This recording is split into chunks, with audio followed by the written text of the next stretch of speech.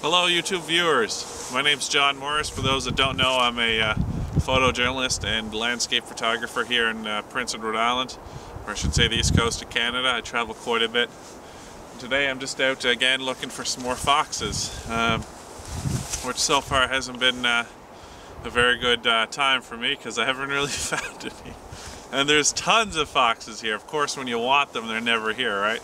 Um, when you want something, they're never there, but when you don't want something, they're everywhere.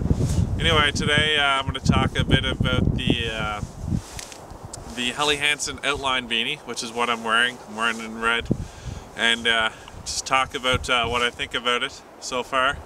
I've been wearing it for a few days now in cold conditions. Uh, it's been minus 15 degrees Celsius here um, with the wind chill, and it's uh, it's been quite the winter. Um, terms of coldness. I hope we get a lot more snow. As you can see, we got some ice down.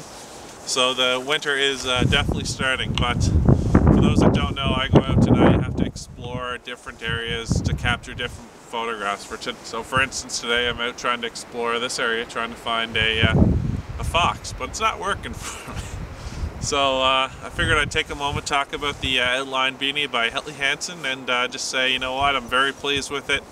It's uh, it's it's looser than I'd like. I like really tight tight uh, hats, but at the end of the day, it's it's a happy medium. Basically, I'm not uh, worried it's going to fall off my head by any stretch of the imagination. But at the same time, I know it's uh, it's there. It's it feels good. It's comfortable. I don't need to worry about feeling the seams. Um, it's it's a I believe it's a mixture of uh, wool and acrylic material. I'm not 100% sure on that though. Uh, but uh, just the, from the feel of it, that's kind of what I get.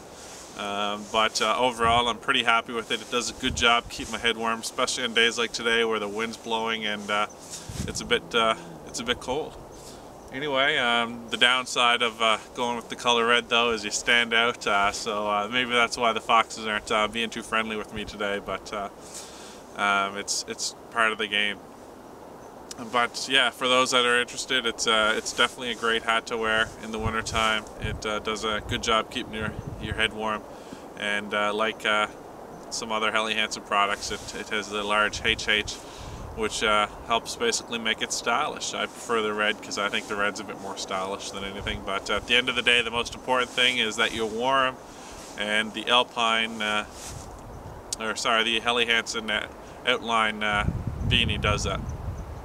Now overall, is it my favorite Helly Hansen hat? No, it's not. The, uh, the Alpine is, which I'll post a link below on my review. The Alpine uh, is a little bit more tighter to my head, which I really like, um, though you don't really feel it, but uh, we're not talking with the Alpine. You can follow the uh, link below for the Alpine video, but today we're talking with the Outline, which uh, it is comfortable, it's great to wear.